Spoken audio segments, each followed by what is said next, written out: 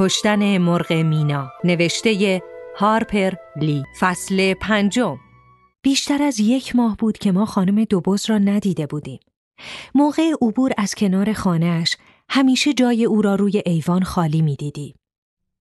اتیکاس جواب داد مرد. همین چند دقیقه پیش مرد پسرم. اوه. در واقع راحت شد. مدتها مریض بود. می‌دونی چرا قش می‌کرد؟ جیم با حرکت سر جواب منفی داد. خانم دوباز معتاد به مورفین بود. سالها بنا به توصیه طبیب به عنوان مسکن مورفین می‌زد.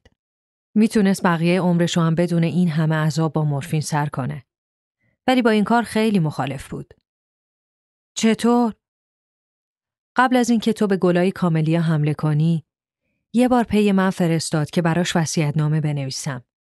دکتر رینولدز گفته بود فقط چند ماه از عمرش باقی مونده. همه کارا و حساباش منظم و مرتب بود. ولی گفت هنوز یه کار مونده که انجام بدم. جیم با حیرت پرسید چه کاری؟ می‌خواست این دنیا رو بدون اینکه به کسی یا چیزی وابسته باشه ترک کنه. جیم اگه کسی مثل اون مریض باشه حق داره به هر وسیله‌ای متشبس بشه که کمتر رنج ببره. اما خانم دوبوز با این نظر موافق نبود.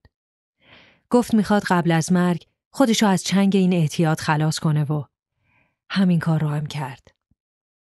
پس واسه این بود که قش می‌کرد؟ آره واسه همین بود. شاید اغلب وقتی تو براش کتاب میخوندی حتی یک کلمه هم نمیشنید. تمام فکر و ذکرش متوجه صدای زنگ ساعت بود. اگه به علت حادثه اون شب تو به چنگش نیفتاده بودی من توصیه می کردم بری براش کتاب بخونی. شاید این برای اون وسیله انصراف خاطر بود. اما دلیل دیگه هم وجود داشت. جیم پرسید قبل مرگش ترک کرده بود؟ آزاد مثل هوای کوهستان. تقریبا تا آخرین لحظه ی حیات به هوش بود. اتیکاس لبخندی زد و ادامه داد. به هوش و مثل همیشه لجوج و سرسخت. هنوز به شدت منو سرزنش می‌کرد و عقیده داشت احتمالاً بقیه عمرم و باید صرف بازخرید زندانهای تو کنم. این جعبه رو هم به جسی دستور داد واسه تو ببنده. اتیکاس خم شد و جعبه را که به یک جعبه شیرینی شبیه بود از روی زمین بلند کرد و به دست جیم داد. جیم جعبه را باز کرد. درون آن در میان لفافی از پنبه مرتوب یک شاخه گل مینای سفید، شفاف و زیبا قرار داشت. یک برف کوهستان. نزدیک بود چشمان جیم از حدقه خارج شود. جعبه را روی کف اتاق پرتاب کرد و فریاد زد. افریته جهنمی! افریته جهنمی! چرا دست از سر من بر نمیداره؟ اتیکاس به سرعت خود را به جیم رساند و جیم صورتش را به سینه او چسباند. اتیکاس گفت گوش کن جیم خیال می‌کنم قصدش این بود که باهات آشتی کنه. خواسته به این ترتیب بگه که همه چیزو فراموش کرده. حالام همه چیز گذشته جیم. اما خانم دوبو زن برجسته ای بود. جیم سرش را بلند کرد. صورتش رنگ خون داشت زن برجسته با اون حرفایی که راجع به تو می‌زد زن برجسته ای بود آره زن برجسته ای بود ما با هم اختلاف عقیده داشتیم اما پسرم گفتم اگه تو اون شب از جا در نرفته بودی و اون حادثه اتفاق نمیافتاد بازم میفرستادمت بری براش کتاب بخونی می‌خواستم از نزدیک بشناسیش لازم بود عوض اینکه خیال کنی شجاعت در وجود یک مرد تفنگ به دست تجسم پیدا می‌کنه شجاعت واقعی رو ببینی آدم از پیش می‌دونه که شکست می‌خوره و محازو شروع می‌کنه. اما از اینکه موفق بشه یا نه. نتیجه هر چی باشه تلاش می‌کنه و جلو میره. احتمال برد خیلی کمه اما گاهی هم آدم می‌بره. خانم دوباز با جسه کوچک 44 کیلویش برنده شد. چیزی که می‌خواست به دست آورد. وقتی مرد به هیچ چیز و هیچ کس وابستگی نداشت. اون شجاعترین آدمی بود که من میشناختم. جیم جعبه را از روی زمین بلند کرد و در آتش انداخت. گل کاملیا را نیز برداشت و وقتی من به طرف تخت خواب رفتم دیدم که با انگشتانش گلبرگ های آن را نوازش می‌داد. اتیکاس روزنامه می‌خواند. جیم دوازده سال داشت. از بس کچخلق و دمدمی مزاج شده بود، زندگی با او دشوار بود. اشتهای وحشتناکی داشت و اینقدر چپ و راست از من می‌خواست راحتش بگذارم که بالاخره موضوع را با اتیکاس در میان گذاشتم. فکر نمی کنی کرم کدو گرفته باشه؟ اتیکاس جواب داد نه جیم داره رشد می‌کنه و تو باید در مورد اون بیشتر حوصله به خرج بدی و حتی المقدور کمتر اذیتش کنی. این تغییر یک باره فقط ظرف چند هفته و قبل از اینکه کفن خانم دوبوز به خشکت در احوال جیم ظاهر شد. قبلا از همراهی من در روزهایی که برای قرائت کتاب به خانه خانم دوبوز می‌رفت خیلی ممنون به نظر می رسید. اما حالا انگار در ظرف یک شب به اخلاقیات کاملا تازه‌ای دسترسی پیدا کرده بود و می‌خواست آنها را به من تحمیل کند.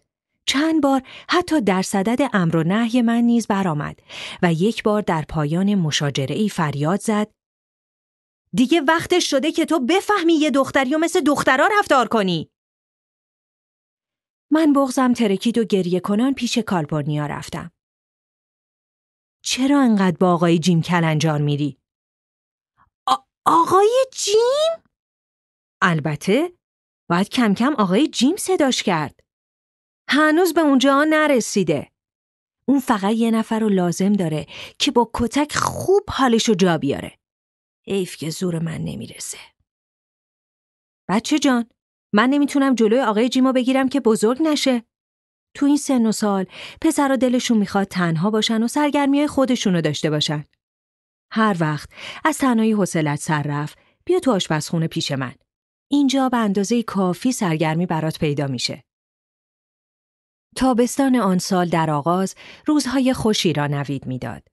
جیم با آنچه برایش خوشایند بود خود را سرگرم می کرد و برای من تا موقع رسیدن دیل کالپورنیا کافی بود. او از حضور من در آشپزخانه خوشحال به نظر می رسید و من به تدریج ضمن تماشای او هنگام کار دریافتم که هنر و تخصصی هم وجود دارد که منحصرا مخصوص عالم زنان است.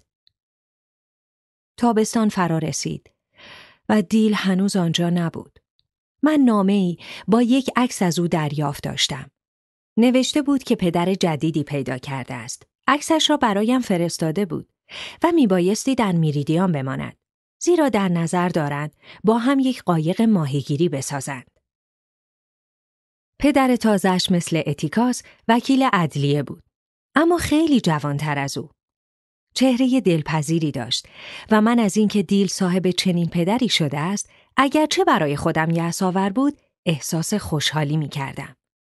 دیل در پایان نامه تاکید کرده بود که مرا برای همیشه دوست خواهد داشت و اصلا نباید ناراحت شوم زیرا به محض اینکه به اندازه کافی پول جمع آورد خواهد آمد و با من ازدواج خواهد کرد و مرا با خود خواهد برد. ضمناً خواسته بود برایش جواب بنویسم. این دلخوشی که من واقعا یک نامزد داشتم در قبال خسارت دوری او قرامت کوچکی به شمار می رفت.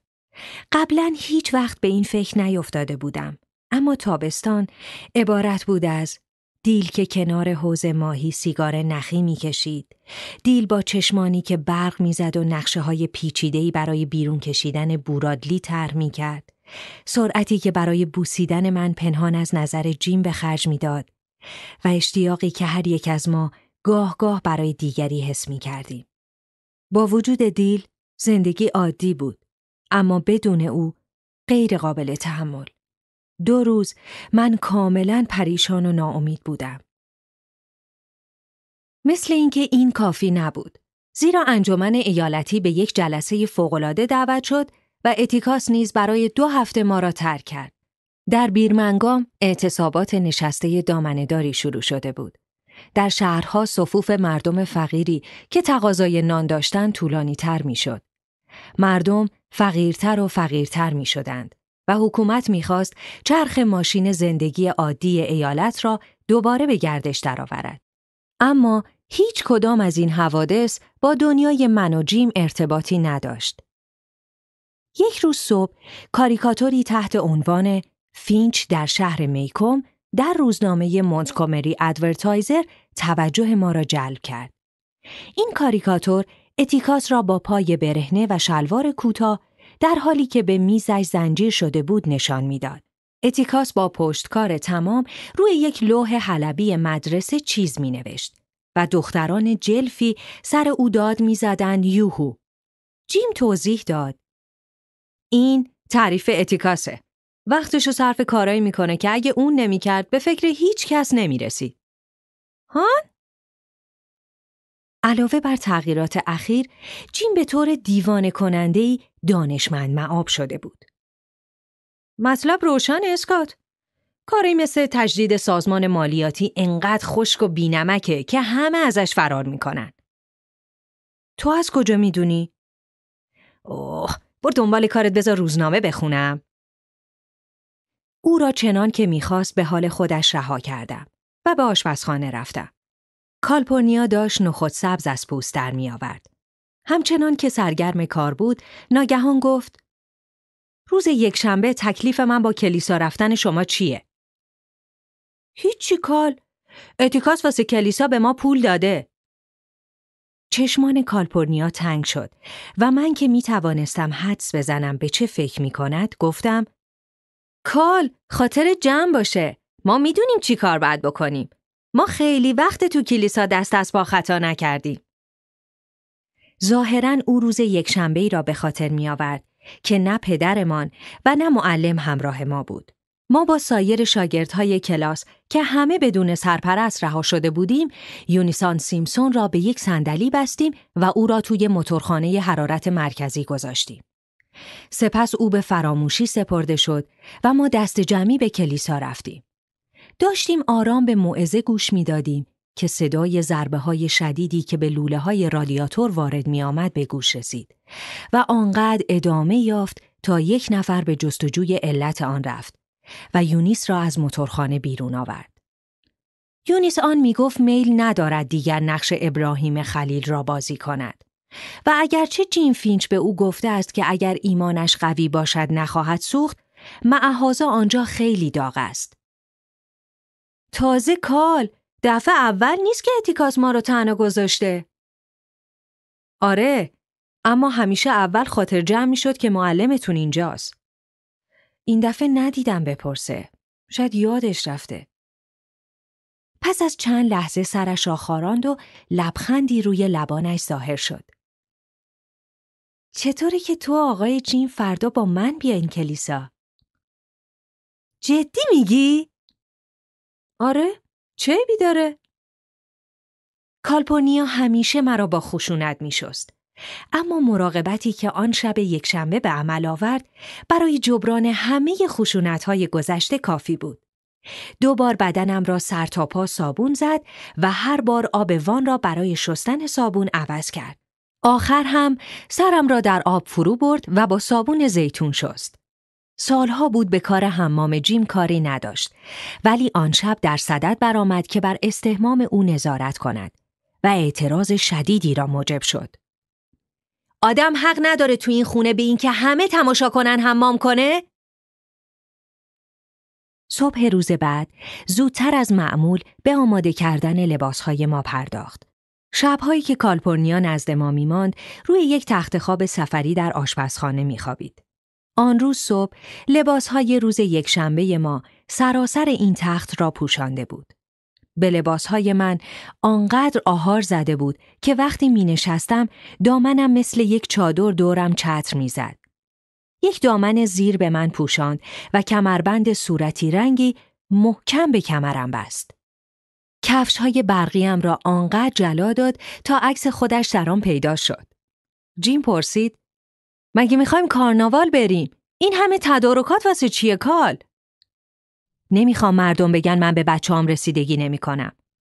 آقای جیم، اون کروات به این لباس نمیاد. رنگش سبزه.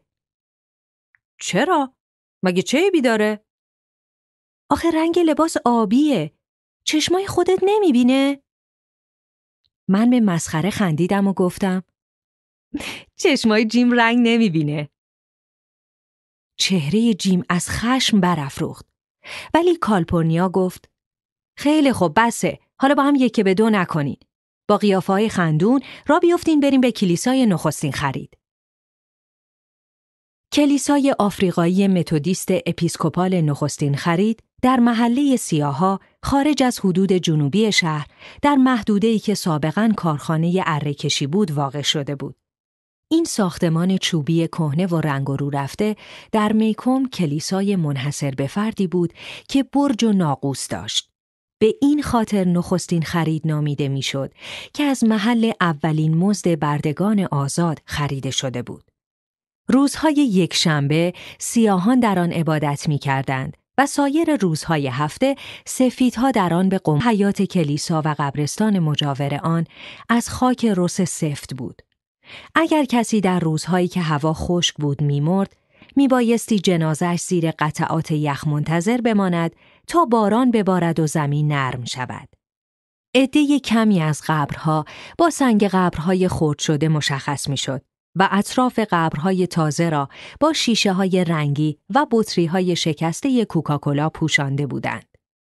بر بالای بعضی از قبور میله های هادی برق برای دفاع در مقابل رد و برق نصب شده بود و از ناراحتی خیال مردگانی که در آنها خفته بودند حکایت می کرد. بالای قبر بچه ها تهمانده شمهای سوخته دیده می شد. قبرستان خوشبختی بود. وقتی وارد حیات کلیسا شدیم، رایحه گرم و تلخ و شیرین سیاهای تمیز با مخلوطی از بوهای روغن سر قلبهای عشق و انفیه و انواع اتکلون و کرم و پودر با اسانسهای نعنا و یاس و غیره به استقبال ما آمد.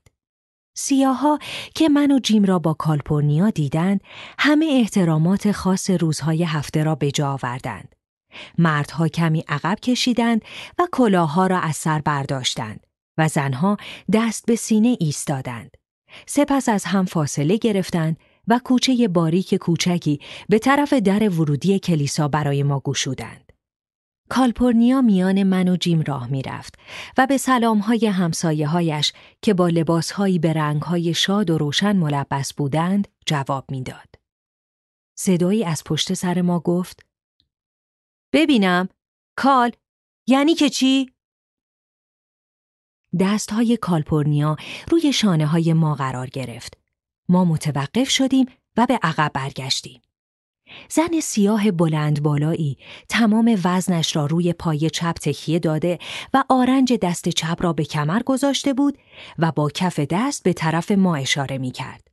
سری گرد، چشمانی بادامی و عجیب دماغی مستقیم و دهانی مثل کمان هندی داشت.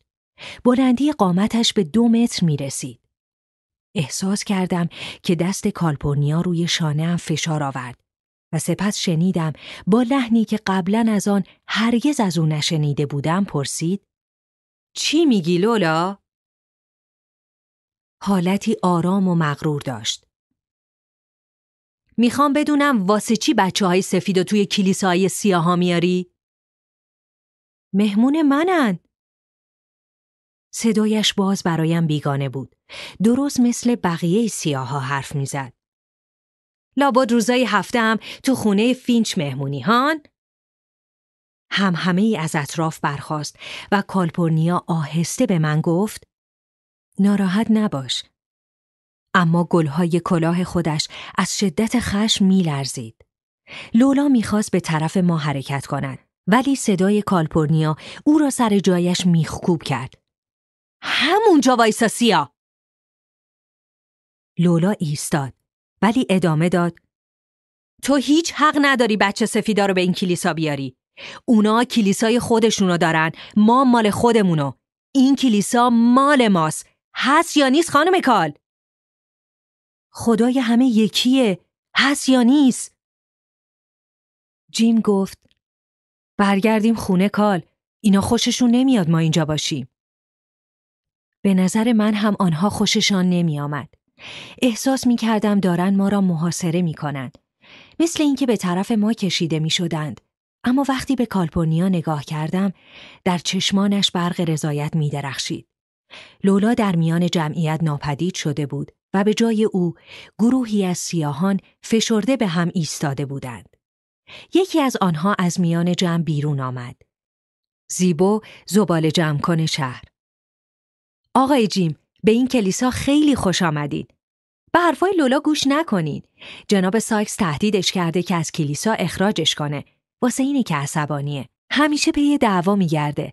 اصلا آدم خیالاتی و گستاخیه. واقعا ما از اومدنتون به اینجا خیلی خوشحالیم. کالپورنیا ما را به طرف کلیسا هدایت کرد. جلوی در کلیسا جناب سایکس به ما خوش آمد گفت و ما را تا ردیف جلو مشایعت کرد. سقف چوبی کلیسای نخستین خرید هنوز گچکشی نشده و دیوارهایش رنگ نشده بود. در امتداد دیوارها چراغهای نفتی با پایه های برنجی نصب شده بود. ولی آنها را روشن نکرده بودند. به جای نیمکت های معمولی کلیسا، نیمکت های ساده از چوب کاج مورد استفاده قرار می گرفت. پشت منبر زمخت چوب بلوط کلیسا روی پارچه ابریشمی صورتی رنگ رفته به دیوار نوشته شده بود خدا محبت است. این تزئین منحصر به فرد کلیسا بود. البته یک باسمه نور دنیا از هانت نیز جایی روی دیوار دیده می‌شد. اثری از پیانو، ارگ، کتاب دعا و برنامه کلیسا، تجهیزاتی که هر روز یک شنبه در کلیسا به دیدنشان عادت داشتیم، مشهود نبود. درون کلیسا تاریک بود و سردی نمناکش با کسرت انبوه مؤمنان تخفیف میافت. روی هر صندلی یک باد بزن مقوایی ارزان قیمت با تصویر رنگارنگی از باغ گتسیمان دیده می‌شد. زیر تصویر نوشته شده بود تقدیمی آهنالات فروشی تیندال و شرکا. هرچه بخواهید در این فروشگاه موجود است. کالپورنیا من و جیم را به انتهای ردیف اول برد و خود میان ما جا گرفت. سپس کیفش را کاوید، دستمالی بیرون کشید گره گوشه آن را که محتوی پول خورد بود گشود و به هر یک از ما یک سکه ده سنتی داد. جیم آهسته گفت ما خودمون پول داریم. اونا رو واسه خودتون نگه دارید. امروز مهمون منی. در چهره جیم تردید کوتاهی نقش بست. رعایت اخلاقیات یا نگه داشتن پولی که به کلیسا تعلق داشت. بالاخره ادب ذاتیش فائق آمد و سکه ده سنتی را دوباره در جیب گذاشت. من بدون تردید و وسواس عینا همان کار را کردم. آهسته پرسیدم کال پس کتاب دعا کجاست؟ ما کتاب دعا نداریم. پس چطور؟ جناب سایکس پشت منبر کلیسا ایستاده بود و با چشمانش حاضران را به سکوت دعوت می کرد.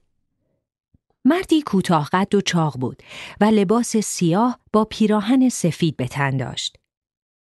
کراوات سیاهی بسته بود و زنجیر طلای ساعت جیبیش در پرتو نوری که از پنجره های یخزده به درون میتابید برق می‌زد.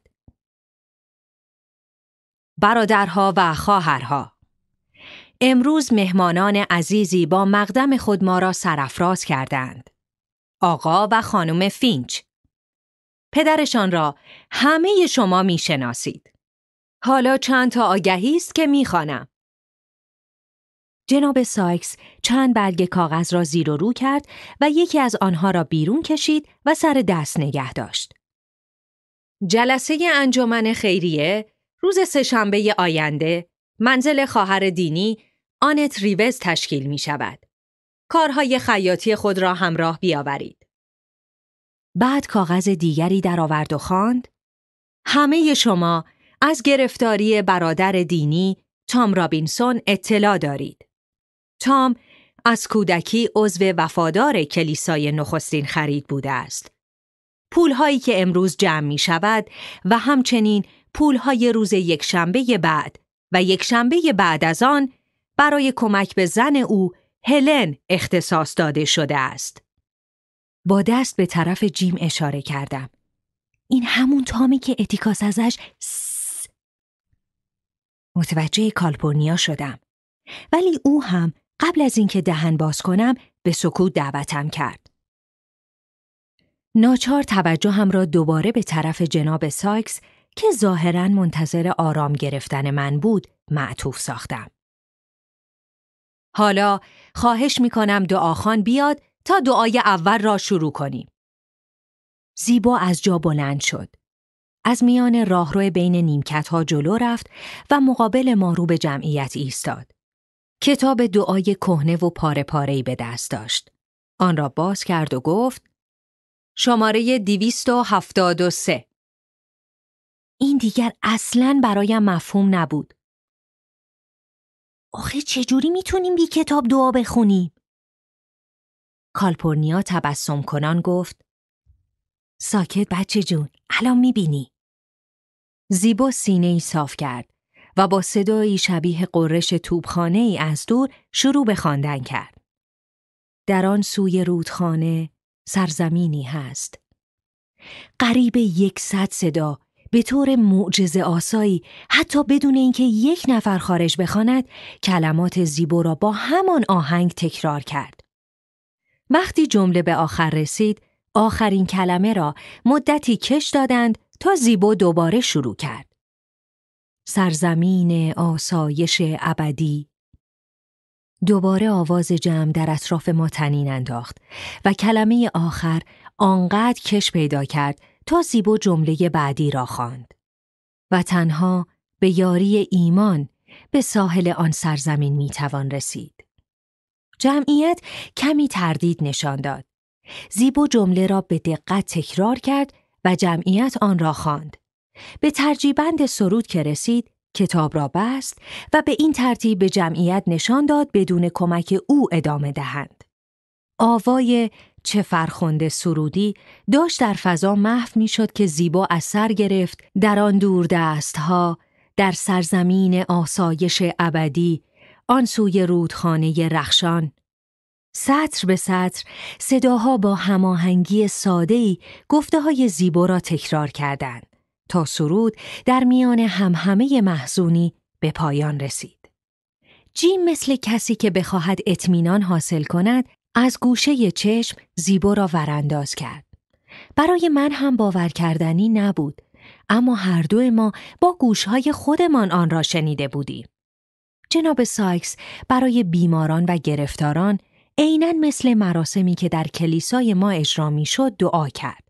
با این تفاوت که عنایات خاصه خداوندی را برای موارد به خصوصی نیز استقاسه نمود. موعظه اش تقبیه سریح گناه و بیان شدید و لحن شعاری بود که پشت سرش بر روی دیوار خوانده می‌شد. مریدانش را از خطر وسوسه مشروبات سنگین الکلی، قمار و زنان بدکار برحذر می داشت. قاچاقچیان مشروبات الکلی ناراحتی های زیادی را در محل موجب می شدند. ولی زنها از آنها بدتر بودند. یک بار دیگر با نظریه مبتنی بر ناپاکی و آلودگی زنان که به کرات در کلیسای خودمان شنیده بودم و ظاهرا حواس کشیش ها را خیلی به خود مشغول می دارد مواجه می شدم. نظیر این موعظه را من و جیم هر روز یک شنبه می شنیدیم. تنها با این تفاوت که جناب سایکس از منبر خود برای امر به معروف و نهی از منکر در موارد خاص آزادانه تر استفاده می کرد. جیم هاردی پنج هفته از حضور در کلیسا قفلت کرده است بدون اینکه مریض باشد. کنستانس جکسون باید مواظب رفتارش باشد. او به علت مشاجره با همسایه ها در خطر است. در تاریخ میکوم او اولین کسی است که با سوء نیت و به منظور عصبانی کردن همسایه ها در محل پرچین کشیده است. جناب سایکس اش را پایان داد. جلوی منبر کنار یک میز ایستاده و تقاضا کرد حضار پرداخت اعانه روز یکشنبه را شروع کنند. این طریق جمعآوری پول در کلیسا برای ما تازگی داشت. جماعت یکی پس از دیگری جلو آمدند و سکه های پنج سنتی و ده سنتی را در یک جعبه سیاه انداختند. من و جیم هم تبعیت کردیم و وقتی سکه های خود را در جعبه می انداختیم صدای جناب ساکس را شنیدیم که آهسته می گفت متشکرم متشکرم. در میان بحت و حیرت ما جناب ساکس جعبه را روی میز خالی کرد سکه ها را شمرد و در حالی که آنها را کف دستش ردیف کرده بود گفت این کافی نیست. ما ده دلار نیاز داریم.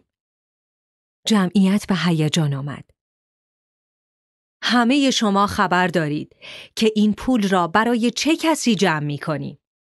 مادام که تام در زندان است هلن نمی تواند بچه ها را تنها بگذارد و دنبال کار برود. اگر یکی یک سکه ده سنتی دیگر بدهید، ده دلار درست می شود. جناب سایکس با حرکت دست کسی را از عقب فرا خواند و دستور داد الک درها رو ببند تا ده دلار جمع نشه هیچ کس از اینجا خارج نخواهد شد کالپورنیا کیف دستیش را جستجو کرد و یک کیف چرمی کوچک و کهنه از آن بیرون کشید. یک سکه 25 سنتی براق به طرف جیم دراز کرد. ولی جیم گفت نه کار ما می‌تونیم پولای خودمونو بدیم. اسکات پولتو بده به من؟ هوای کلیسا داشت خفه کننده می‌شد. اما به نظر می رسید جناب سایکس قصد دارد عرق جمعیت را در بیاورد تا مبلغ معهود وصول شود. باد به زنها به حرکت درآمد. پاها روی زمین جابجا می‌شد و کسانی که معتاد به جویدن تنباکو بودند از خماری رنج می بردند. تعجب من به منتها درجه رسید وقتی جناب سایکس با خشونت خطاب به یک نفر گفت کارلو ریچاردسون شما رو من هنوز اینجا ندیدم. مرد لاغرندام کوچکی با شلوار خاکی رنگ جلو آمد و سکه‌ای در جعبه انداخت. از جمعیت همهمه تأییدآمیزی برخاست. این بار جناب سایکس تقاضایش را به نحو دیگری تکرار کرد. از کسانی که بچه ندارند خواهش می کنم گذشت کنند و یکی ده سنت دیگر نیز بدهند تا این پول درست بشود. آهسته و به زحمت ده دلار فراهم آمد. در باز شد و جریان شدید باد گرمی ما را دوباره به حال آورد. زیبو بر سواحل طوفانی اردن را مثل دفعه قبل سطر به سطر خواند و مراسم پایان یافت. می‌خواستم به تماشا بیستم ولی کالپورنیا مرا جلو انداخت و به طرف خارج راه افتادیم. کنار در کلیسا کالپورنیا ایستاد تا با زیبو و خانوادهش صحبت کند و من و جیم با جناب سایک سرگرم صحبت شدیم.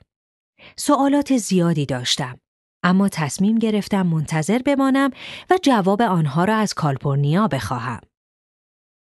امروز از آمدنتون به اینجا خیلی خوشحال شدیم. این کلیسا دوستی بهتر از پدر شما نداره. کنج چرا همه واسه زن تام رابینسون پول جمع می کردین؟ نشنیدید چرا؟ هلن سه تا بچه کوچک دارد و نمی تواند سر کار برود. چرا بچه ها رو با خودش نمی‌بره؟ معمول این بود که زنان سیاهی که در مزارع کار می کردند بچه های کوچکشان را همراه ببرند و هر جا سایه یافت می‌شد آنها را روی زمین بنشانند. اغلب فقط سایه دو ردیف بوته پنبه بچه های کوچک را پناه می‌داد.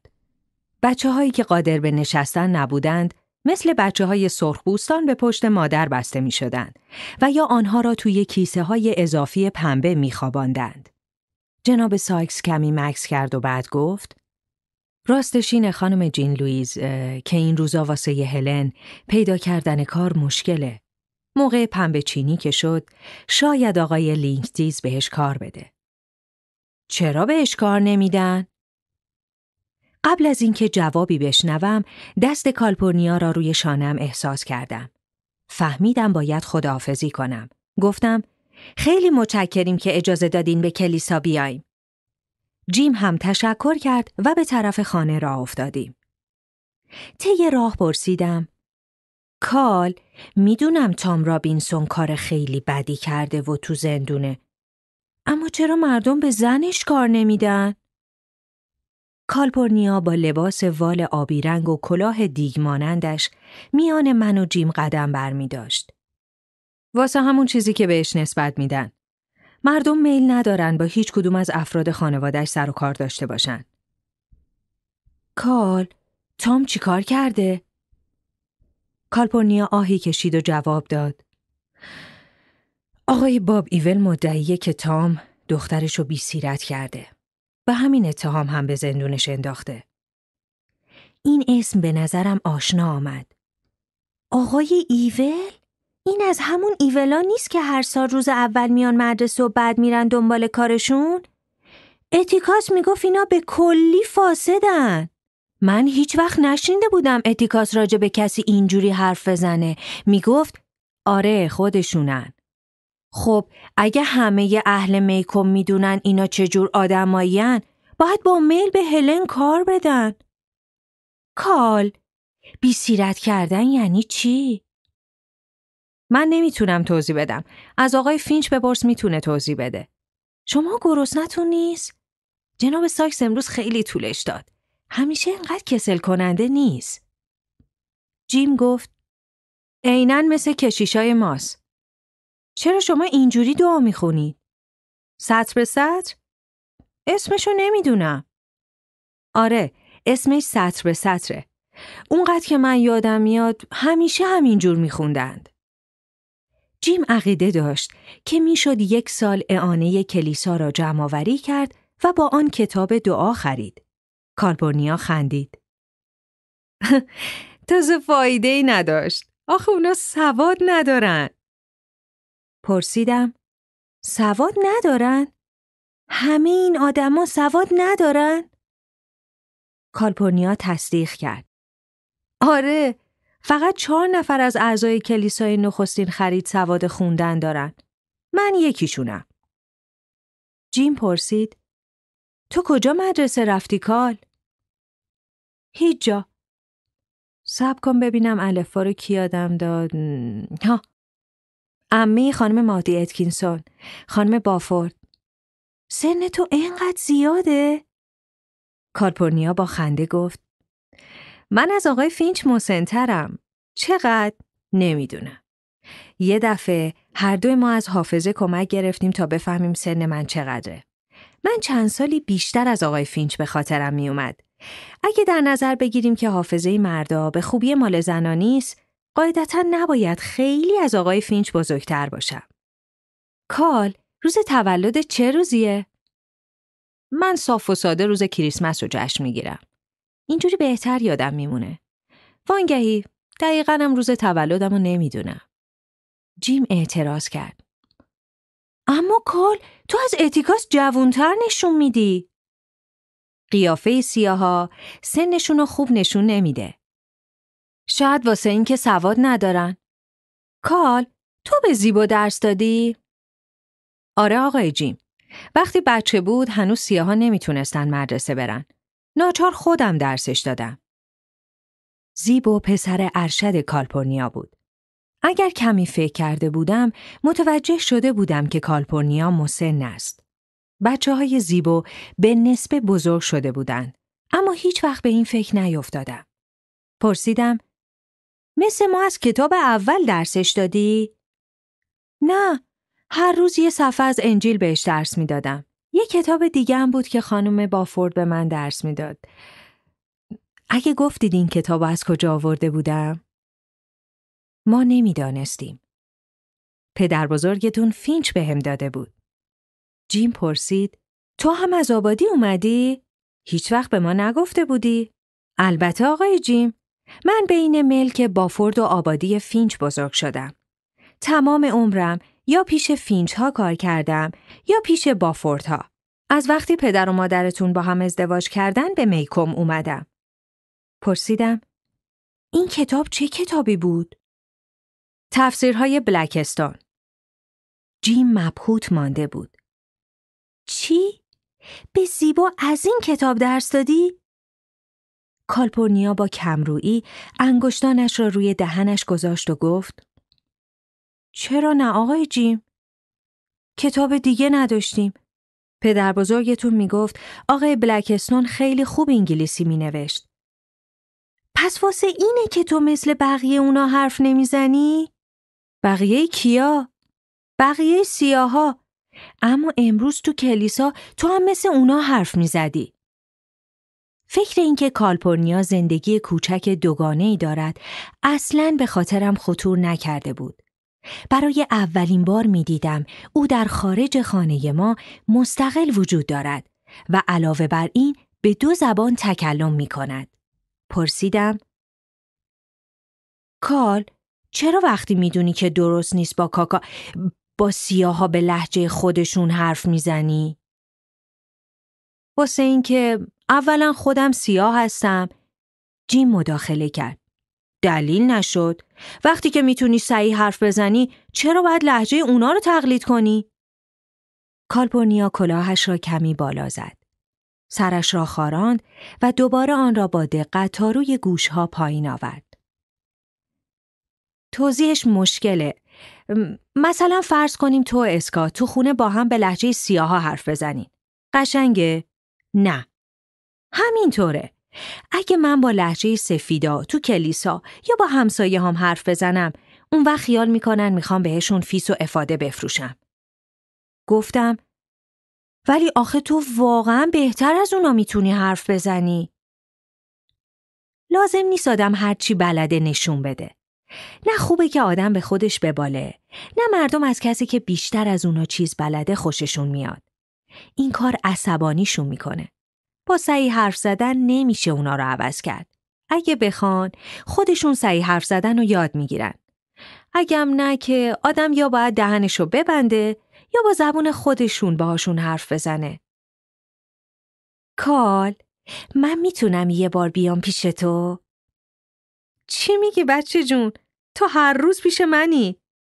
نه منظورم اینه که بیام خونتون مثلا یه شب بعد از اینکه کارا تموم شد بیام. بعدم اتیکاس بیاد برم گردونه خونه. البته هر وقت دلت بخواد قدمت بالای چشم. روی پیاده رو از جلوی خانه رادلی رد می شدیم که جیم گفت اونجا رو ایوون رو نگاه کن. من به تصور اینکه شبه خانم رادلی را در حال آفتاب گرفتن روی صندلی تاب خواهیم دید به آن طرف متوجه شدم. اما هیچ کس آنجا نبود. جیم توضیح داد ایوون خودمونو میگم. این بار به طرف خانه خودمان نگاه کردم. امه الکساندرا در لباسی چسبان و محکم عمود و سرسخت روی یک صندلی تاب نشسته بود. انگار تمام مدت عمرش هر روز آنجا می نشسته است. کالپورنیا چمدون منو بذار تو اتاق خواب جلویی. این اولین جمله بود که ام الکساندرا به زبان آورد و جمله دوم بلافاصله خطاب به من بود. جین لویز اینقدر سرتو نخارون. کالپورنیا چمدان سنگین امه را برداشت و در را باز کرد. اما جیم جلو رفت. چمدون رو من میارم. چمدان را از دست کالپورنیا گرفت و همراه او وارد ساختمان شد. لحظه بعد صدای چمدان را روی کف اتاق خواب بالا شنیدم. صدایی که انعکاس گنگ آن ابدی به نظر می رسید. پرسیدم امه جون مهمونی اومدی؟ بازدیدهای امه الکساندرا که خیلی نادر بود بسیار رسمی صورت می گرفت. او صاحب یک اتومبیل بزرگ بیوک به رنگ سبز روشن و یک شوفر سیاه بود. هم اتومبیل و هم شوفر هر دو همیشه به طور ناسالمی تمیز نگه داشته می شدند. این دفعه اثری از آنها مشهود نبود. پدرتون بهتون نگفته؟ من و جیم سرمان را به علامت نفی تکان دادیم. شاید فراموش کرده. هنوز برنگشته نه؟ جیم جواب داد نه امه فکر کنم امروز عصر برمیگرده. خب من و پدرتون به این نتیجه رسیدیم که لازم من بیام یه مدتی اینجا پیش شما بمونم. یک مدتی در میکم از سه روز تا سی سال معنی می‌داد. من و جیم نگاهی با هم رد و بدل کردیم. امه الکساندرا خطاب به من ادامه داد جیم داره بزرگ میشه تو هم همینطور فکر کردیم که حالا تو به یک مربی زن احتیاج داری خیلی نمونده که کم کم به لباسا و پسرا علاقه پیدا کنی جوابهای آماده ای داشتم کالپورنیا هم زنه هنوز سالها طول داره تا من به پسرها توجه پیدا کنم. به لباس هم هیچ وقت علاقه نخواهم داشت. اما ساکت ماندم. جیم پرسید امو جیمی چی کار می‌کنه؟ اونم میاد؟ نه، اون تو آبادی مواظب کاراست. هنوز جمله جاش خالی نیست کاملا از دهنم خارج نشده بود که متوجه شدم سوال به جایی نکردم. حضور و قیاب اموجیمی تفاوت چندانی نداشت. او اصلا حرف نمی‌زد. ام الکساندرا سوال مرا نشنیده گرفت. دیگر چیزی نداشتم که به او بگویم. در واقع هیچ وقت چیزی به فکرم نمی رسید که برای گفتن به او مناسب باشد. ناچار نشستم و گفتگوهای کسل کننده ای را که در گذشته با هم داشتیم در مد نظر آوردم. حال چطور جین لویز؟ متشکرم امه حالم خوبه. حال شما چطوره؟ خیلی خوبه متشکرم. چه کار می‌کنی؟ هیچی. هیچ کاری نمی‌کنیم. نه خیر امه. دوست آشنا نداری. چرا دارم؟ خب وقتی با هم هستین چی کار می‌کنین؟ هیچی. روشن بود که امه الکساندرا مرا فوقالعاده کودن میشناخت یک بار خودم شنیدم به اتیکاس می‌گفت که من کند ذهنم زیر کاسه این مهمانی نیم کاسه پنهان بود ولی من نمی‌خواستم فورا در این باره سوال کنم. زیرا روز یک شنبه بود و ام الکساندرا در روزهای عزیز مخصوصا حساس بود. شاید به علت لباسی بود که روزهای یک شنبه می پوشید. او چاق نبود اما بدن توپری داشت و زیر جامعه هایی که انتخاب می کرد کمرش را تنگ می فشرد و جای تردید باقی نمیگذاشت که زمانی به ساعتهای شن و شیشهی قدیم شباهت داشته است. از هر زاویه آدم او را تماشا می کرد عالی بود. باقی مانده ی روز در افسردگی آرامی که در محضر قوم و خیشها به ما دست می‌داد سپری شد. ولی به محض اینکه صدای اتومبیل اتیکاس از گاراژ شنیده شد، همه کسالتها را فراموش کردیم. اتیکاس از مونتکومری برمیگشت. جیم که وقارش را فراموش کرده همراه من به استقبال دویده بود. کیف و چمدان اتیکاس را گرفت و من به بغلش پریدم و بوسه خشک و کوتاه او را روی گونهام حس کردم. واسه من کتاب آوردی؟ می‌دونی همه اینجاست؟ جواب هر دو سوال مثبت بود. به نظر تو چطوری که امه پیش ما بمونه؟ گفتم خیلی خوبه. اما دروغ گفتم. گاه و بیگاه و به خصوص وقتی از دست آدم کار دیگری ساخته نیست، دروغ گفتن ناگزیر است. ما فکر کردیم حالا شما احتیاج دارین می‌دونی اسکات امتون هم به من محبت می‌کنه هم به شما من تمام روز نمی‌تونم تو خونه پیش شما بمونم امسال تابستونم خیال می‌کنم خیلی گرم باشه بدون اینکه یک کلمه از حرفهای او را فهمیده باشم گفتم بله پدر. در هر حال استنباط من این بود که ام الکساندرا بیشتر به ابتکار خود وارد صحنه شده است تا به ابتکار اتیکاس.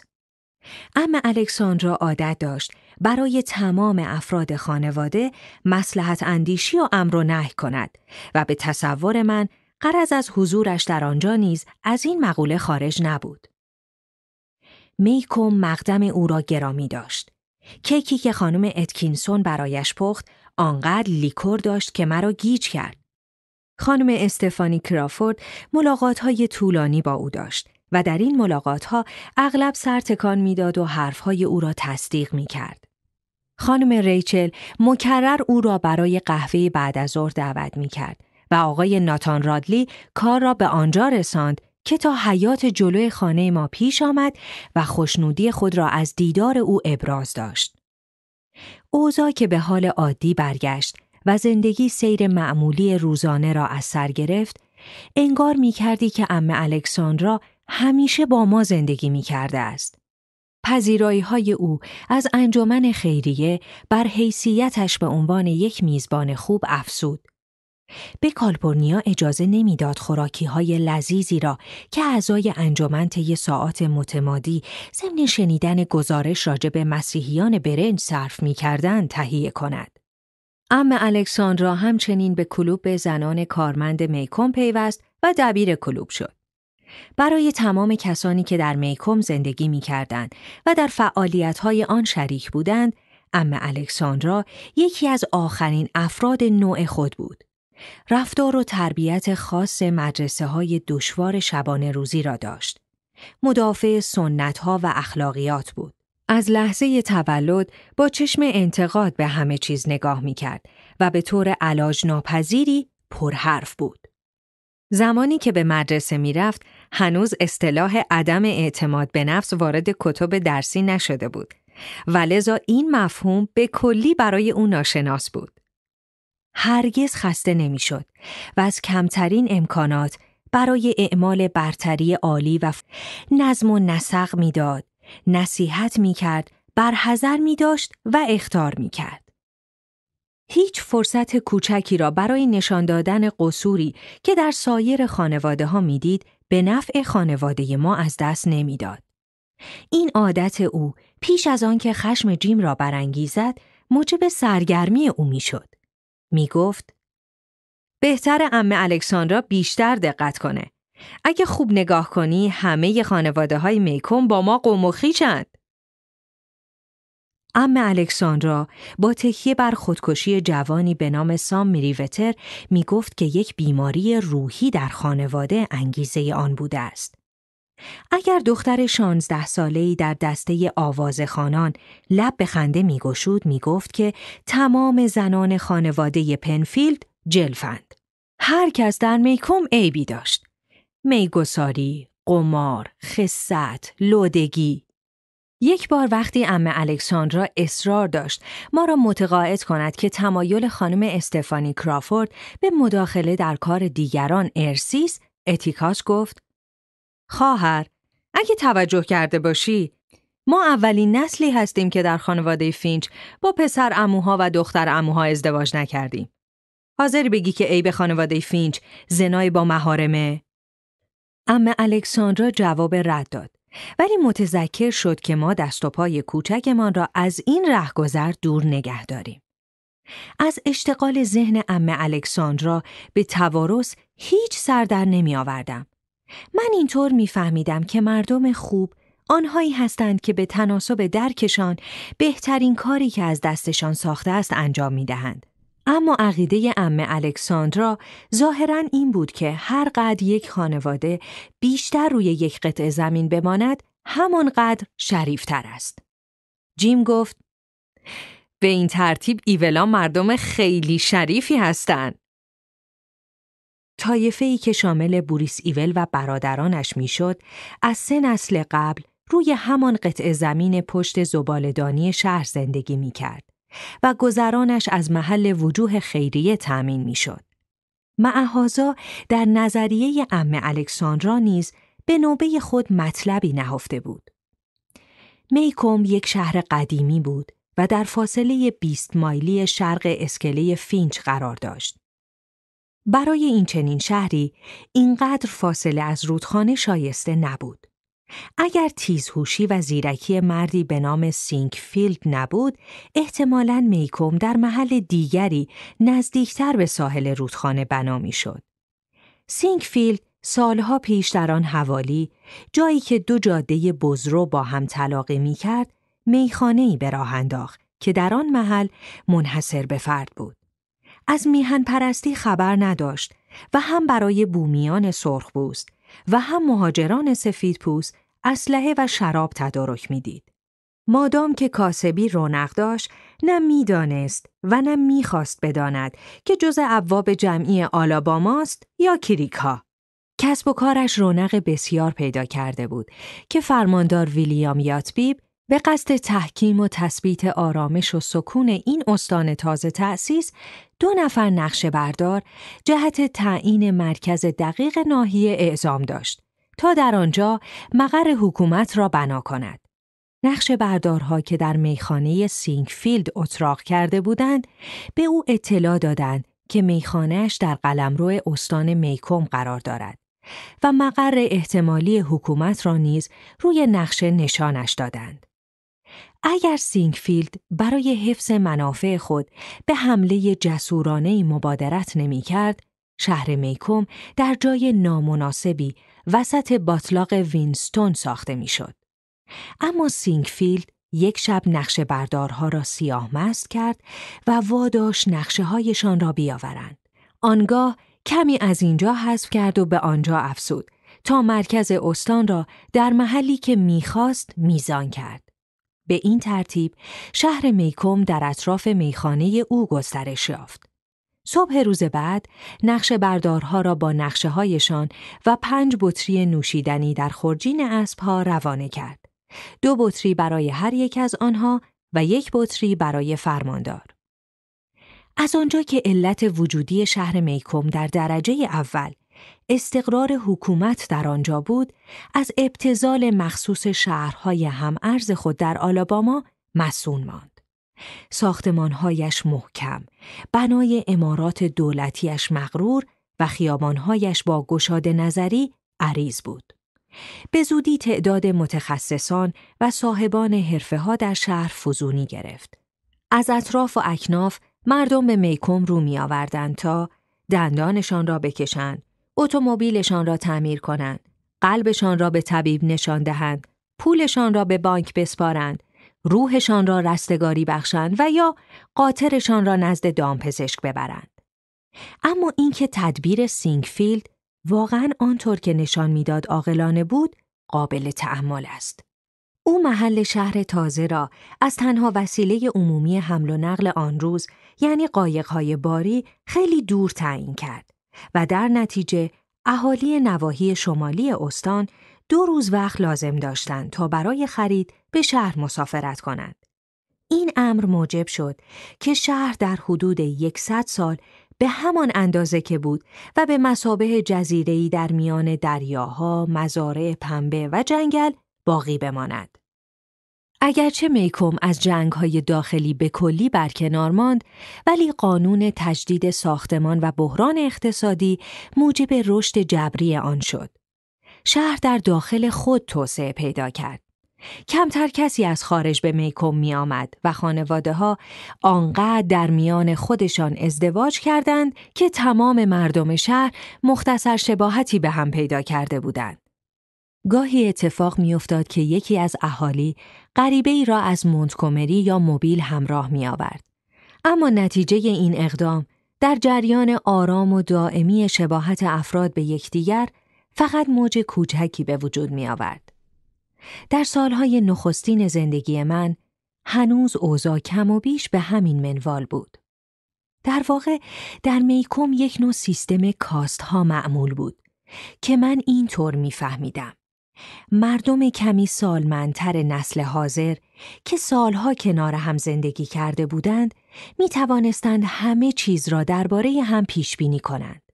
طرز تفکر، خصال و حتی جست ها از نسلی به نسل دیگر منتقل می شد و به مرور ایام اصلاحاتی در آن به عمل می آمد.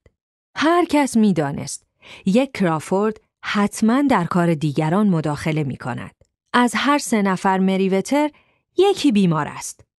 دلافیلدها یک روده راست در شکم ندارند. همه بافوردها موقع راه رفتن قوز می کنند و قبل از اینکه به بانک تلفن کنید از دلافیلدها چک نگیرید.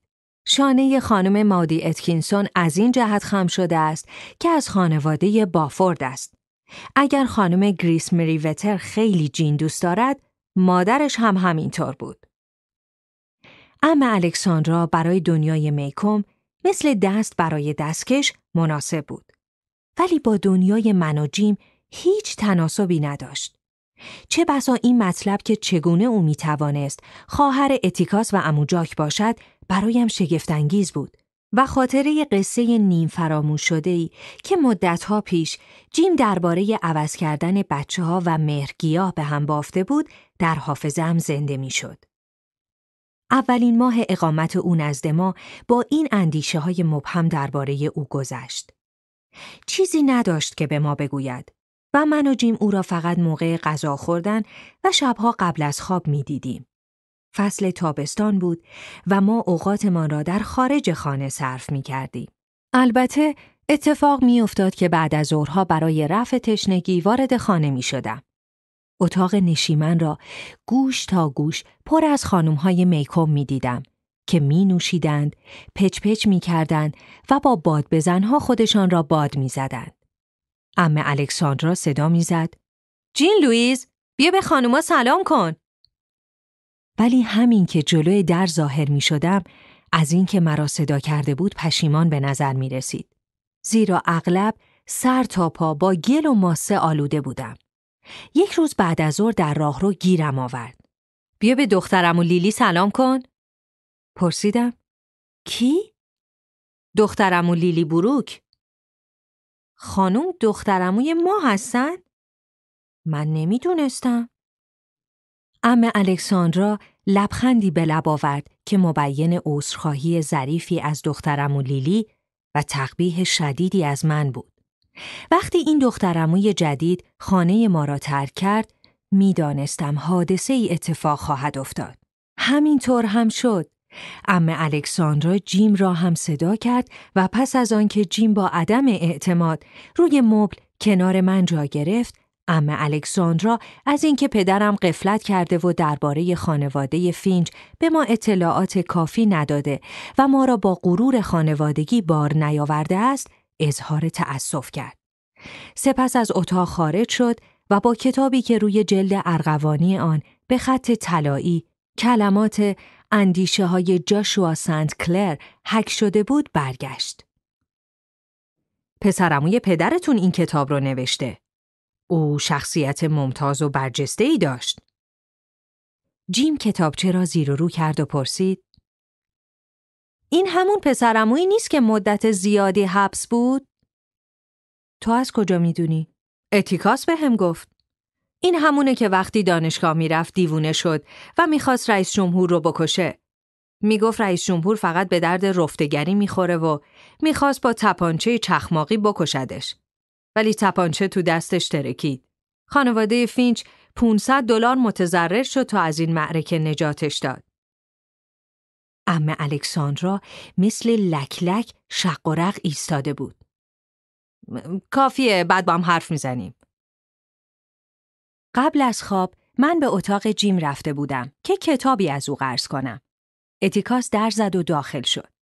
کنار تخت جیم نشست و با قیافه جدی به ما نگاه کرد و بعد خندید.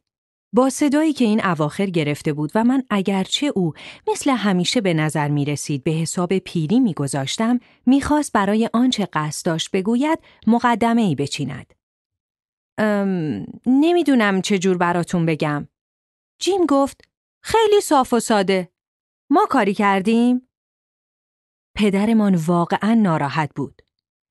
نه، فقط می‌خوام بهتون توضیح بدم که ام الکساندرا از من خواهش کرده پسرم تو می‌دونی که از خانواده فینچ هستی، نه؟ جیم از گوشه چشم نگاهی کرد و گفت به اندازه کافی اینو بهم گفتن بعد صدایش بی اختیار بلندتر شد. موضوع چیه اتیکاس؟ اتیکاس پاها را روی هم انداخت. بازوها را روی سینه صلیب کرد و گفت چیزهایی هست که می‌خوام براتون شرح بدم. عدم رضایت جیم تشدید شد. من همشو می‌دونم. ناگهان قیافه اتیکاس در هم رفت و با لحن دیوانی و انعطاف ناپذیری شروع کرد. اما الکساندرا خواسته من به تو و جین لوئیس توضیح بدم که شما از مردمی نیستین که از پشت بطه در اومدن. شما نسلا در نسل تا چندین پشت به یکی از اصیل ترین خانواده های میکم تعلق دارید. اتیکاس مکس کرد تا مرا که روی پایم ساسی را تعقیب می کردم تماشا کند. بالاخره من ساس را پیدا کردم و کشتم و اتیکاس ادامه داد. یکی از اصیل ترین خانواده های میکم. اما الکساندرا می‌خواد رفتار شما شایسته نامی باشه که روتون هست. علا رغم عدم رضایتی که در چهره ما نقش بسته بود، اتیکاس جلوتر رفت. از من خواهش کرده بهتون بگم که شما باید به اصلتون برید و مثل یک خانم و یک آقای کوچک رفتار کنید. می‌خواد درباره خانواده و تاریخچه و موقعیت اون در میکن براتون حرف بزنه. به این ترتیب شما می‌فهمید چه کسی هستید و چجور باید رفتار کنید. اتیکاس با شتاب به سخنانش پایان داد. من و جیم گیج و کرخت اول به هم نگاه کردیم و بعد به اتیکاس که ظاهرا یقش ناراحتش می‌کرد. ما حرفی نزدیم. از کمد جیم یک شانه بیرون آوردم و دندانه های آن را به کناره کمد کشیدم. اتیکاس گفت اون صدا رو در نیار. لحن خشک و شدیدش مرا رنجان. حرکت شانه به وسط دندانه ها رسیده بود که من آن را متوقف کردم و به زمین انداختم. بدون مقدمه ناگهان احساس کردم که دارم گریه می کنم و نمی توانم جلوی گریم را بگیرم. پدرم هرگز اینطور فکر نمی کرد. این پدر من نبود. پدرم هرگز اینطور حرف نمی زد. اما الکساندرا به نحوی این افکار را به او تلقین کرده بود. از خلال اشکها جیم را می دیدم که سر را به یک طرف خم کرده و در ورطه تنهایی مشابهی ایستاده است. جایی نبود که به آن پناه ببرم. معهازا برگشتم که بروم. اما با اتیکاس مواجه شدم. سرم را به سینهش فشردم و به صداهای آهسته‌ای که از پشت پارچه آبی روشن جلیقه شنیده می‌شد گوش دادم. تیک تاک ساعتش، خشخش ظریف پیراهن آهاریش و صدای آرام نفسش. گفتم شکمت صدا می‌کنه. می‌دونم. بهتره یه سودا بخوری. می‌خورم. اتیکاس این نمی‌دونم رفتار شایسته و خانواده اصیل زندگی ما رو عوض می‌کنه. یعنی تو دیگه احساس کردم دستش را پشت سرم گذاشت. قصه نخور. هیچ قصه نخور. هنوز هیچ دلیلی برای قصه خوردن وجود نداره. دانستم که او نزد ما برگشته است. خون در رگهای پایم دوباره به گردش درآمد و سرم را بلند کردم راست راستی می‌خوای این کارا رو که گفتی ما بکنیم؟ اما من یادم نمیاد که فینچا چه کارایی باید بکنن و چه کارایی نباید بکنن. لازم نیست یادت بیاد. فراموش کن. به طرف در رفت. از اتاق خارج شد و در را پشت سرش بست. موقع بستن در داشت آن را به هم میکوفت ولی در آخرین لحظه متوجه شد و آن را آرام بست. من و جیم هنوز خیره به در نگاه می کردیم که دوباره باز شد و اتیکا سرش را داخل اتاق کرد. ابروهایش بالا رفته و عینکش به روی دماغ لغزیده بود. هر روز به پسرمون جاشوا شبیتر میشم نه؟ فکر می‌کنید منم واسه خانواده فینچ 500 دلار خرج بالا بیارم؟ امروز می‌فهمم که در آن موقع اتیکاس می‌خواست چه بکند. ولی او فقط یک مرد بود. این کار م الکساندرا دیگر درباره خانواده با ما حرف نزد ولی در عوض ما در شهر چیزهای بسیاری در این باره شنیدیم. روزهای شنبه اگر جیم اجازه می‌داد که من همراه او باشم با یک سکه پنج سنتی در جیب از میان جمعیتی که عرق از سر و رویشان جاری بود به بازار می رفتیم. این اواخر نسبت به مصاحبت من در انظار عمومی به شدت حساسیت نشان می‌داد. در این مواقع بود که ناگهان میشنیدیم اینا بچه هاشن. یا اوناها دو تا فینچ دارن رد میشن. برمیگشتیم که گوینده را پیدا کنیم و مثلا با یک جفت دهقان روبرو می شدیم که کنار ویترین مغازه‌ای به تماشا مشغول بودند. و یا دو زن چاق و پروار دهقان که با کلاههای حسیری روی عرابه‌ای نشسته بودند. آقای باریک و لاغری همچنان که از کنار ما میگذشت گفت بله تو این شهر می‌تونن همه زنا رو بیسیرت کنن. بدون اینکه کسی بهشون بگه بالای چشمتون ابروه. یادم آمد که می‌خواستم چیزی از اتیکاس بپرسم. شب پرسیدم. بیسیرت کردن یعنی چی؟ اتیکاس روی صندلیاش کنار پنجره نشسته بود. من و جیم احساس می کردیم که حالا بزرگتر شده ایم و به حکم انصاف باید لاعقل هر روز بعد از شام نیم ساعتی او را تنها به حال خود بگذاریم. از پشت روزنامه نگاهی به من کرد. آهی کشید و گفت یعنی ارتباط با یک زن به زور و بدون موافقت او. اگه معنیش فقط همینه چرا از کالپورنیا که پرسیدم نخواست به هم جواب بده؟ اتیکاس با تعجب مرا ورانداز کرد. چی گفتی؟ دوباره بگو ببینم. اون روز یک شنبه که ما با کالپورنیا به کلیسا رفته بودیم. وقتی برمیگشتیم من ازش پرسیدم. اما کالپورنیا گفت باید از تو بپرسم. تا امروز یادم رفته بود. روزنامه اتیکاس حالا روی زانویش قرار داشت. چطور؟ یه دفعه دیگه تعریف کن؟ جریان رفتن به کلیسا را به تفصیل برای شرح دادم. اتیکاس راضی به نظر می رسید. اما از گوشه اتاق ام الکساندرا کاردستیش را زمین گذاشته و به ما خیره شده بود. اون روز همه شما از کلیسای کالپورنیا برمیگشتین؟ جیم تصدیق کرد. آره امه جان، کال ما رو با خودش کلیسا برده بود. چیزی به خاطرم آمد.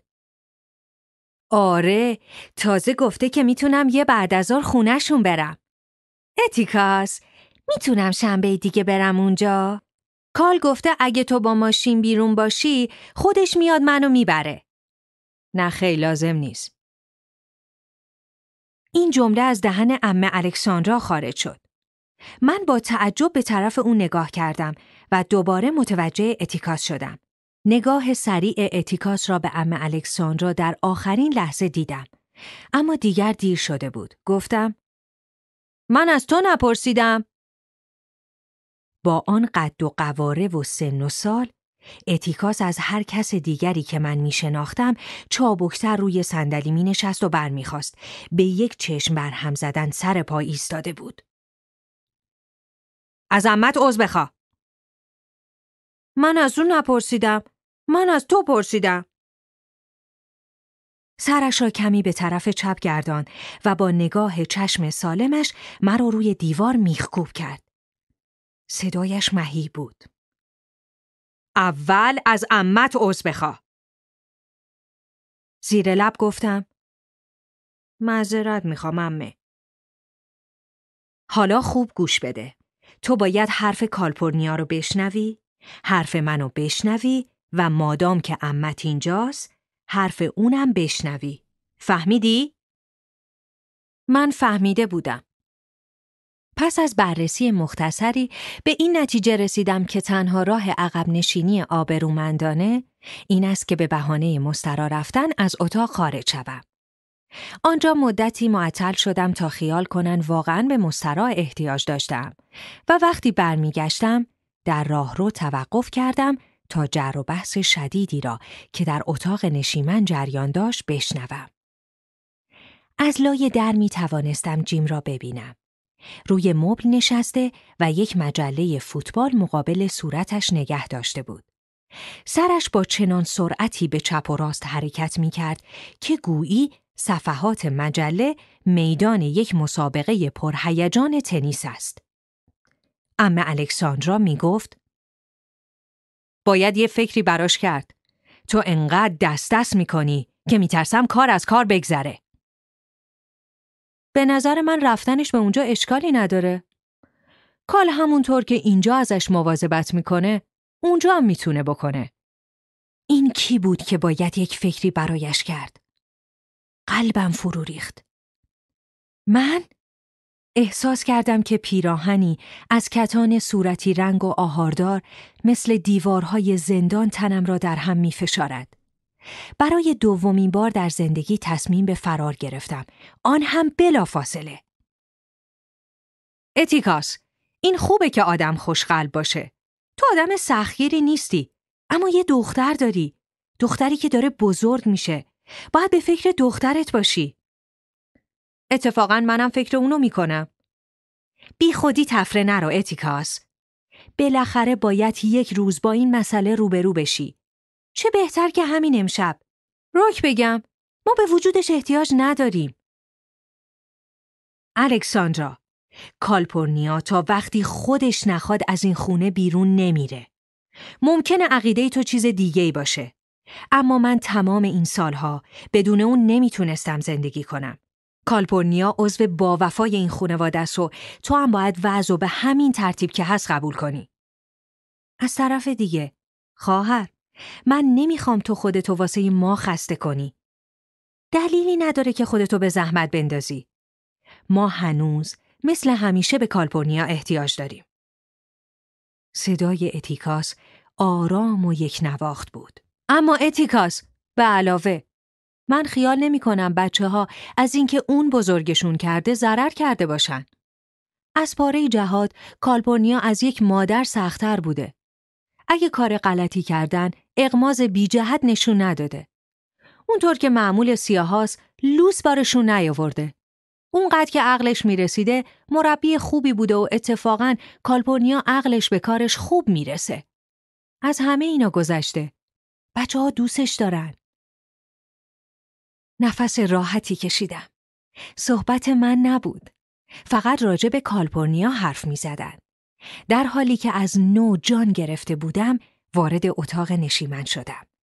اتیکاس پشت روزنامه پنهان شده بود و ام الکساندرا با کاردستیش کشتی می گرفت. سوزن شکم پارچه را که با قاب گردی محکم کشیده شده بود با سر و صدا سوراخ می کرد. بام بام بام ام الکساندرا لحظه مکس کرد. پارچه را سختتر دور قاب کشید و ادامه داد. بام بام بام. دیوانوار خشمگین بود. جیم از جا برخاست و پاورچین پاورچین از روی قالی عبور کرد. با اشاره فهماند که همراهش بروم. به اتاق او رفتیم. در را بست و با قیافه جدی گفت با هم دعواشون شد اسکات. میان من و جیم دعوا تازگی نداشت. اما نه دیده و نه شنیده بودم که کسی با اتیکاس دعوا کند. منظره چنین دعوایی مطبوع نبود. اسکات، سعی کن امه را عصبانی نکنی. فهمیدی؟ زخم دستورهای چند لحظه پیش اتیکاس چنان تازه شد که منظور جیم را متوجه نشدم و با عصبانیت تمام گفتم تو هم به من دستور میدی؟ نه اما اتیکاس به اندازه کافی گرفتاره دیگه ما نباید ناراحتش کنیم مثلا چه گرفتاری؟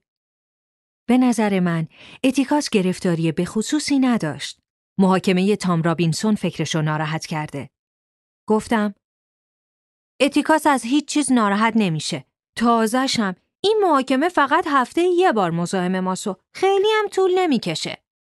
تو می‌تونی این چیزا رو زود فراموش کنی. اما آدم بزرگا اینطور نیستن. ما این اواخر به نحو دیوانه کننده ای ادای بزرگها را در می آورد. یا کتاب می‌خواند و یا تنها به گردش می‌رفت. هنوز هر کتابی می‌خواند به من هم می‌داد. با این تفاوت که سابقا برای اینکه احتمالا من هم خوشم می آمد و حالا به منظور تعلیم و تربیتم. بوزینه بد ترکیب تو کی هستی؟ از من گفتن بود. جرأت داری یه دفعه دیگه امه رو عصبانی کن. اون وقت می‌دونم با چی کار کنم. چشمم جایی را نمی‌دید. خیال کردی نر خر من میکشمت جیم روی تخت نشسته بود به آسانی کاکلش را چنگ زدم و مشتی به دهنش حواله کردم. او با یک سیلی به من جواب داد. خواستم یک چپ به او بزنم ولی یک مشت به شکمم زد و روی زمین پرتابم کرد. یک لحظه نفسم برید ولی اشکالی نداشت. او داشت با من زد و خورد می کرد و این به آن معنی بود که ما هنوز با هم برابریم. فریاد زدم. هان بازم خودتو واسه من می‌گیری؟ و دوباره حمله کردم. جیم هنوز روی تخت بود و من نمی توانستم موقعیت مسلطی داشته باشم. ناچار خودم را با تمام قوا روی او انداختم و با مشت و لگد و چنگ و نشکون به جانش افتادم. دعوایی که با بکس شروع کرده بودیم کارش به جاهای بد می کشید که اتیکاس ما را از هم جدا کرد. بس دیگه هر دوتون برین تو رخت خواب. به جیم گفتم هان خوب شدی؟ زیرا مجبور شده بود او هم موقع خواب من به رخت خواب برود. اتیکاس به حالت تسلیم پرسید کی اول شروع کرد؟ جیم می‌خواد به من دستور بده من که مجبور نیستم به حرفش گوش بدم اتیکاس با لبخندی گفت خب اینجوری قرار می‌ذاریم هر وقت جیم تونست تو رو متقاعد کنه به حرفش گوش بده. خوبه؟ امه الکساندرا نیز ناظر این صحنه بود. ولی تا آخر ساکت ماند. فقط وقتی به اتفاق اتیکاس از اتاق خارج شد از راهرو صدای او را میشنیدم. بفرما. اینم نمونه چیزی که بهت می‌گفتم. این جمله دوباره ما را با هم متحد کرد. اتاقهای ما به هم متصل بود و من داشتم در وسط دو اتاق را میبستم که جیم گفت شب بخیر اسکات.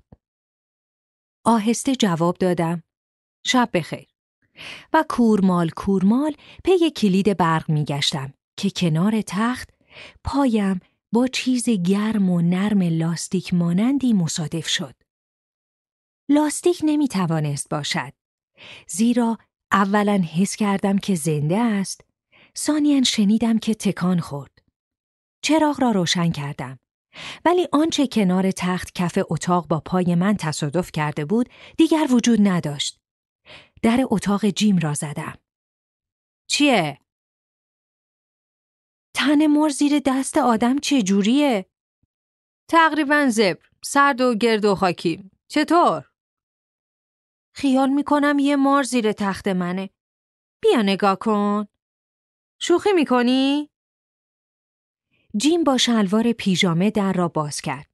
با رضایت خاطر دیدم که اثر استخوانهای انگشتم هنوز روی دهنش باقی است.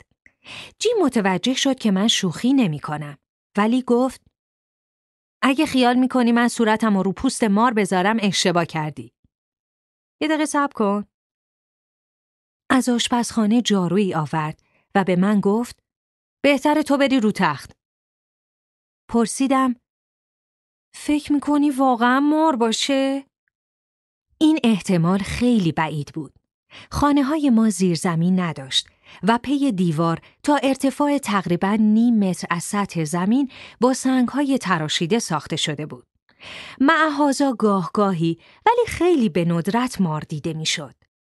خانم ریچل هاورفورد ظاهرا یک روز صبح وقتی می‌خواست رب دو شامرش را در گنج آویزان کند یک مار ای که روی لباسهای شستنی حلقه زده بود او را دچار چنان وحشتی کرد که می‌گفت هرگز نمی‌تواند آن را فراموش کند به همین بهانه هم هر روز صبح یک نوشیدنی می نوشید. جیم یک ضربه آزمایشی با جارو به زیر تخت زد و من از بالا چهار چشمی مواظب بودم که چه وقت مار بیرون خواهد آمد. از مار خبری نشد. جیم این بار جارو را جلوتر برد. مار خورخور می‌کنه؟ جیم جواب داد مار نیست، آدمه. ناگهان از زیر تخت موجود قهوه‌ای رنگ کثیفی سر درآورد. جیم جارو را بلند کرد و کم مانده بود آن را روی سر دیل فرود آورد. ولی ضربه با فاصله کمی از کنار دیل رد شد. جیم مثل اینکه دعا می کرد گفت خدایا دیل ذره ذره از زیر تخت بیرون آمد. انگار خود را از منگنه بیرون می کشید.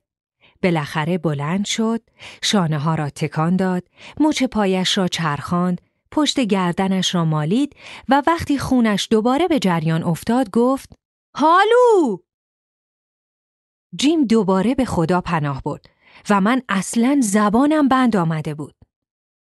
دارم از گرسنگی میمیرم. خوردنی چیزی پیدا میشه؟ انگار در عالم رویا به آشپزخانه رفتم و مقداری شیره با یک نصف نان ذرت که از سر شام باقی مانده بود برایش آوردم. دیل مطابق معمول نان را با دندانهای جلو جوید و آن را به سرعت بلعید. بالاخره صدایم را باز یافتم. چطور اینجا اومدی؟ از یه راه پرپیچ و خم. دیل که با خوردن غذا احیا شده بود به حرف آمد. پدر جدیدش از او نفرت داشت و او را در زیرزمین خانه به زنجیر کشیده و زنده به گور کرده بود. خانه های میریدیان زیرزمین دارد. دهقان رهگذری فریادهایش را شنیده و مخفیانه با نخود سبز از مرگ نجاتش داده بود. چه مرد خوبی! یک سبد نخود سبز را خوشه خوشه از سوراخ هواکش برای او پایین فرستاده بود. دیل بالاخره زنجیر را از دیوار کنده و خود را آزاد کرده بود. بعد در حالی که هنوز دستبند به دست داشته، پای پیاده خود را به دو مایلی مریدیان رسانده و آنجا در سیرک کوچکی برای شستن شتر استخدام شده بود. سراسر میسیسیپی را همراه این سیرک سفر کرده و ناگهان حس خطا ناپذیر